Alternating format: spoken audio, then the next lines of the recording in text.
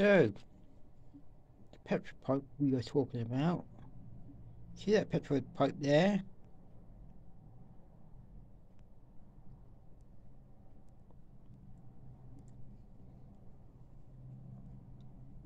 Got a flounder on it, you see.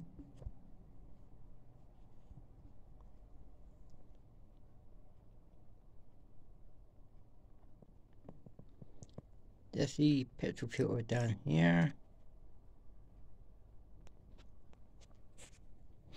It's a special petrol pipe for your old Husqvarna chainsaw. And see that screw there? On top, you have to undo the tank.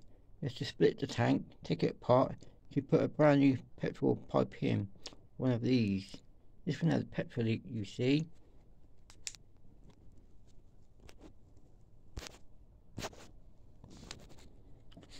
Right. So what I've done, I put another grommet in to stop the petrol leak. So, let's have a look.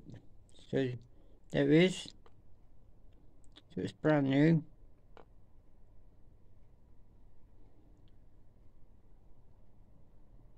So on the old Husqvarna chainsaws, if it's powerful and think, always put a brand new one in. This is a new one. Okay?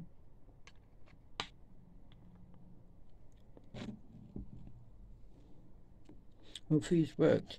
All I got to do now is put the um bar back on on the chain. And I will show you at the same time. There's the oil pump there. To lubricate the chain. Please subscribe and comment on this video. Thanks for watching. Bye.